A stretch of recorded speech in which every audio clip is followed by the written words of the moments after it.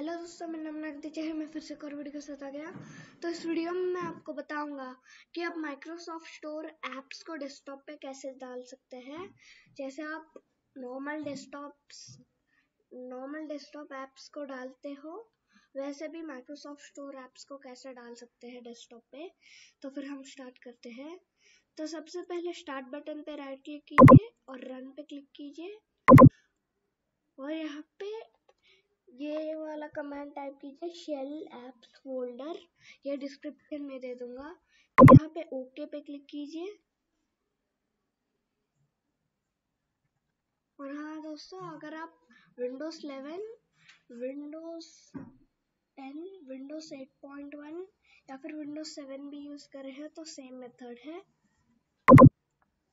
तो फिर अब यहाँ पे नीचे आ जाइए और अपना माइक्रोसॉफ्ट स्टोर का ऐप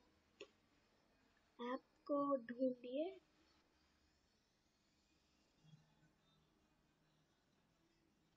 जैसे कि ये लाइवली वॉलपेपर है, ये माइक्रोसॉफ्ट स्टोर का ऐप है और मैंने ये डेस्कटॉप पे डाल दिया है।